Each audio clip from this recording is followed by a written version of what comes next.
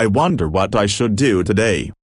Thank you Bart Sampson.